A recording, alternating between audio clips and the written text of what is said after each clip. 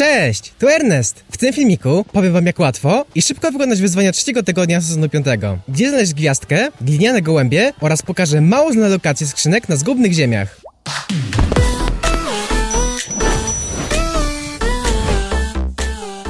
Zanim jednak wystartujemy, dla potencjalnie chętnych do wzięcia udziału, przypominam, że to już ostatnia okazja do wzięcia udziału w giveawayu na 3000 fałdolców, do którego link jest w opisie. I jak zawsze ostrzegam was, że po wykonaniu jakiegokolwiek wyzwania musicie opuścić mecz w inny sposób niż przez menu, bo w takim przypadku wyzwanie wam się nie zaliczy. Dlatego najlepiej jest wygrać gierkę, ale jest też opcja skoku z wysokości czy eliminacja od przeciwnika. Okej, a wystartujemy od tego tygodniowej gwiazdki. Tym razem musimy się kierować mapą skarbów ze spawalni spółczek. Prezentuje się ona następująco i X-em wyznaczy nam miejsce na pewnej górce z pomostem, kontenerem, małą chatką i domkiem. Te charakterystyczne elementy wystroju podpowiadają nam, że chodzi dokładnie o tą górkę przy zgubnych ziemiach. Sama gwiazdka za to powinna się pojawić w tym miejscu. Na ten moment korzystam z wyciekek informacji, więc ona się jeszcze u mnie nie pojawia, ale tym razem już na pewno ją znajdziemy w okolicach tego miejsca. Szukania nie ma końca, ponieważ kolejne wyzwanie rozkazuje nam zestrzelić rzutki, lub w zależności od tłumaczenia, gliniane gołębie w czterech różnych miejscach. Aby wykonać to wyzwanie, potrzebujecie broń i do tego należy udać się do czterech różnych maszyn do wystrzeliwania glinianych rzutek, aktywować je i wykonać polecenie.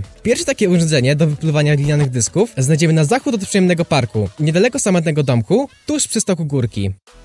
Drugie skrywa się na brzegu mapy, także na zachód, ale tym razem od ogromnego drewnianego krzesła, stojącego naprzeciwko domku z samochodem na dachu. Jedyne co musicie to aktywować to urządzonko i co może być trudniejsze, trafić w rzutkę.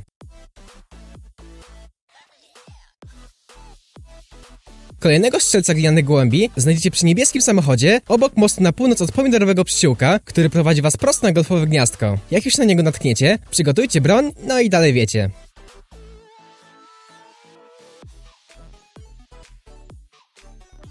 Czwarty stoi dokładnie na południe od oazy odpoczynku i jest niedaleko końca strumienia, w tym miejscu na mapie.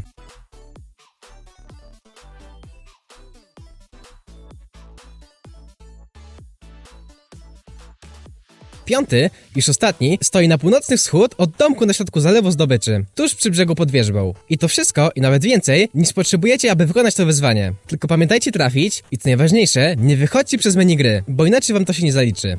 Zanim jednak przejdziemy dalej, jeden z moich widzów bierze udział w oficjalnym konkursie cosplayowym i poprosił mnie o pomoc. Wystartował on ze swoim przebraniem podniemnego łowcy. Aby na niego zagłosować, wystarczy wejść na link podany w opisie, zalogować się przez odpowiedni portal społecznościowy i oddać głos na Łukasza. Serdecznie dziękujemy za wasz poświęcony czas. Dalej, następne wyzwanie rozkazuje nam przykład 7 skrzyń na zgubnych ziemiach. Na początku możecie sobie pomyśleć, że nie ma tam za wielu skrzynek, ale mam nadzieję, że uda mi się zmienić wasze zdanie, ponieważ jest tam parę mniej znanych miejscówek skrywających skrzynki. Parę mniej znanych miejscówek to m.in. te metalowe silosy, gdzie może się czaić skrzynka. Kolejną znajdziecie w tej malutkiej jaskini pod drogą.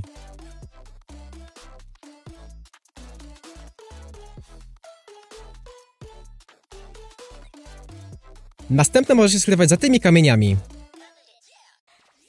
Osobiście polecam też to miejsce, gdzie poza mnóstwem drewna znajdziecie także skrzynkę pod drzewem. Skrzynek nie brakuje też w tych małych budkach rozłożonych po zgubnych ziemiach. Zazwyczaj je znajdziemy za sianem, na przykład za dużym domem, a także w budyneczku przed domem.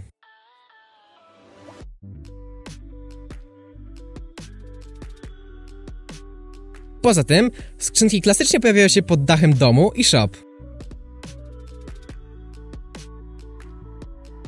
Jest jeszcze jedna opcja, a mianowicie pójście do stajni, gdzie znajdziemy skrzynkę także pod dachem i w tym pokoju. Czwarte wyzwanie, też związane z szukaniem, polega na użyciu panelu skokowego, lepiej znanego jako Launchpad. Po ostatniej aktualizacji 5.10 wachlarz oferty zrzutów zaopatrzenia został pomniejszony, dzięki czemu Launchpady mają teraz o wiele większą szansę na wydlupienie. Dlatego polecam wam się po nie zabierać, ponieważ jest coraz większa szansa na zdobycie panelu skokowego. Jeśli nie uda wam się znaleźć ani zrzutu, ani Launchpada luzem, możecie też spróbować taktyki na 50 na 50. Polega ona na wyskoczeniu w połowie drogi busu bojowego i natychmiast natychmiastowym otwarciu lotni. Teraz musicie czekać, aż pojawi się pierwsze oko burzy i tam się skierować, ponieważ ląduje tam mnóstwo dropów.